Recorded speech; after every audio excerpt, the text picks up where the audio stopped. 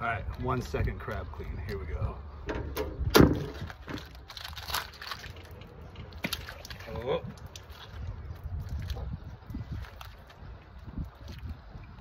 Okay, maybe like two and a half second. Easy as that. Stay tuned for more.